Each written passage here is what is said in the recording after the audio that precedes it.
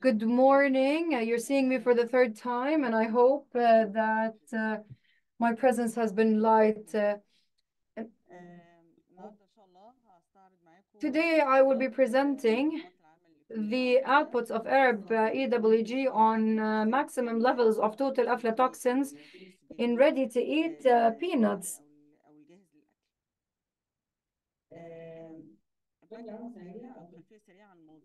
Uh, let me give you a background. Uh, in the CCF uh, ninth uh, uh, committee uh, has begun discussing maximum levels of aflatoxins in peanuts intended for direct consumption.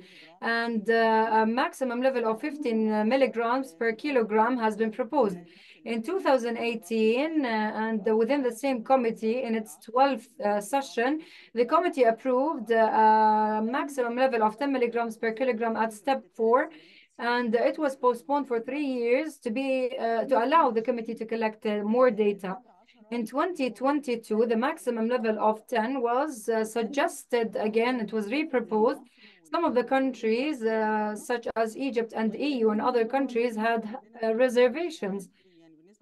Uh, this is due some legislations that we had locally. Uh, for example, in Egypt, we had a legislation stipulating a lower number than 10. So the work was postponed for more comprehensive analysis of the data. And given the uh, uh discrepancies in opinions between the Arab uh, countries, the Codex Arab initiative decided to take action to have a common Arab position. So on the 13th of September 2023, the Arab Codex Initiative has uh, held uh, a meeting. Among the topics that were discussed was uh, the maximum level of aflatoxins in ready-to-eat peanuts. Uh, uh, we have they have also reviewed uh, the the outputs of the CCF. we decided to create an uh, electronic working group uh, called a study based on the principles of uh, risk analysis to determine the maximum limits limits for aflatoxins in peanuts and ready-to-eat uh, peanuts, uh, chaired by Egypt and co-chaired by Sudan, with members of the Arab Codex Initiative. And uh, later on October 2nd, 2023, the uh, CCP Egyptian Codex uh, shared the work plan with the EWG, consisting of members from Sudan, the Hashemite Kingdom of Jordan, United Arab Emirates, Sultanate of Oman, State of Qatar, and Kingdom of Morocco, and Yemen. And the CCP Egyptian Codex demanded the EWG to send data uh, related the import and export uh, on the maximum uh, level of aflatoxins in each countries. And they asked, for example, if there have been any rejections on the maximum levels of aflatoxins, uh, be it uh, related to export or uh, local production, or if they had their own national research pertaining to the same subject. The deadline was the 15th of November 2023. The uh, scope of work for the EWG was to uh, have a unified Arab position, a, regional position, of course, on the uh, maximum levels uh, for total aflatoxins, uh, that it should be also uh, risk-based to reach an international standard for the maximum levels of total aflatoxins in ready-to-eat peanuts. Step three uh, before 15th of November 2023, which was the deadline, uh, uh, the CCP received uh, data from Egypt, from the NFSA, in addition to data from Sudan, Sultanate of Oman, UAE, and Yemen. And later on December 18, 2023, the CCP started to uh, collect uh, data and sent it to the GFoRSS experts. Uh, we had Professor Samuel and Dr. Amin, uh, who started to analyze uh, these uh, data.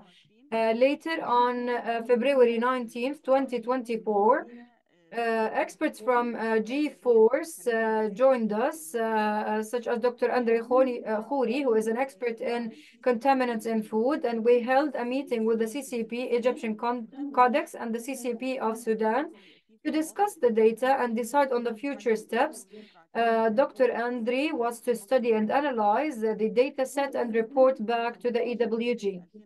The sixth uh, step was on uh, March 18, uh, March 18, 2024, where Dr. Andre shared a report on aflatoxin contamination uh, in exported peanuts. And uh, most of the rejections were related to the exported um, peanuts. So most of the, the data was pertaining to that. Uh, later, uh, in the CCF 17, which was conducted between uh, 15 to 19 of April 2024, um, during which the definition of uh, the ready-to-eat uh, peanuts was discussed, uh, we needed to have a clear definition so that we can um, identify the level of total aflatoxins uh, so uh, later in CX 193, uh, they decided on the definition of the RTE, but uh, there were some uh, reservations from countries.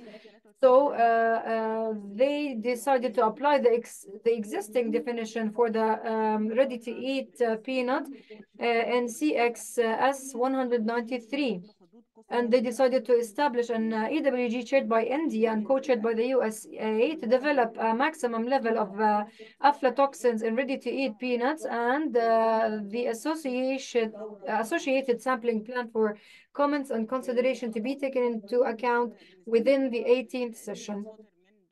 Regarding the upcoming uh, steps, uh, we will be uh, disseminating the report provided by Dr. Uh, Khouri uh, to uh, the country so that we can reach a, a common uh, regional position on the maximum levels of uh, total aflatoxins in peanuts. And uh, uh, after um, that, we will prepare data to be shared through the GEMS food database as data from the Arab region. Thank you very much. Thank you very much, Engineer Hanan. Um, you have exerted great efforts along with your team. Thank you. I believe that this is the fruit of uh, collaborative uh, work and uh, of this uh, EWG. Your activity has been uh, amazing. Uh, all the members of the team from Egypt, Sudan, and other Arab countries. Now we will open a room for discussion and inquiries. Engineer Adib, the floor is yours. I have a question. Did you approve the CXS 193? No, only the definition. They took the existing definition, which is uh, included in the CXS 193, because we needed a definition for the ready-to-eat uh, uh, peanuts uh, in order for us to work on uh, the rest of uh, the elements. And there is an EWG uh, chaired by India and uh, co-chaired by the USA to uh, start working on the maximum uh, levels. And the report that was prepared uh, by Dr. Andre Khouri, and I would like to extend my thanks uh, from this podium to Dr. Amin, Professor Samuel, and Dr. Andre for taking the time to analyze data. Is there any other comment? Thank you very much, Engineer Hanan, for your efforts.